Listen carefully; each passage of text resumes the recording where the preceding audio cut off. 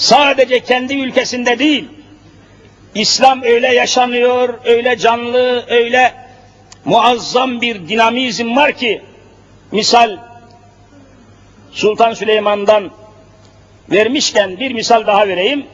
Mesela Süleymaniye Camisi biliyorsunuz. Halkın hazinesinden bir kuruş masraf etmeden Süleymaniye Camisi'ni tek başına yaptıran Sultan Süleyman'dır. Mimar Sinan'a biliyorsunuz yaptırmış. O camiyle alakalı tarihte okudum.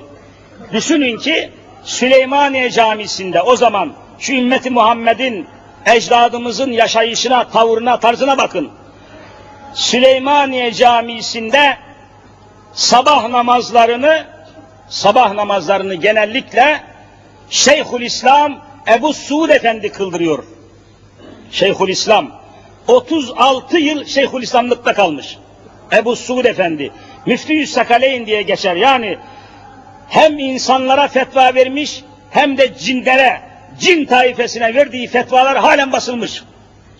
Hem cinlere hem insanlara fetva veren müftü diye geçer. Müftü Sakaleyn. Hem insanların hem cinlerin müftüsü. Ebu Suud Efendi.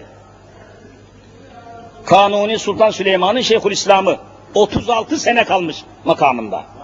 Ve sabah namazlarını bu Şeyhülislam kıldırıyor. Şeyhülislam'ın arkasında sabah namazını kılalım diye Süleymaniye Camisi'ne sabah namazına yetişmek üzere Sarıyer'de yaşayan Müslümanlar diyor yatsı namazını kıldıktan sonra hiç uyumadan yola çıkarlar, yürüye yürüye sabah namazına Süleymaniye'ye gelirlerdi diyor.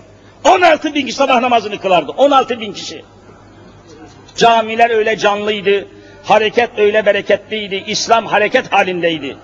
16 bin Müslüman sabah namazını Süleymaniye'de beraber kılıyor. Şeyhülislam'ın arkasında. İslam böyle yaşanacak ki, böyle şahlanacak ki, yeryüzünün en hayırlı ümmeti olabilirsiniz. Düşmanları korkutabilirsiniz, ürkütebilirsiniz. Dininizi her şeyin başına alacaksınız ki dünyanızı ona göre değerlendiresiniz. Ümmeti Muhammed'in en büyük vasfı dini önde, dünyası arkada olacak. Ümmeti Muhammed'in en büyük özelliği dini İslam lokomotif olacak, dünyası, eşyası, maddesi o lokomotifin gerisinde bulunan vagonlar gibi olacak. Bizi dinimiz götürecek, dinimiz çekip götürecek.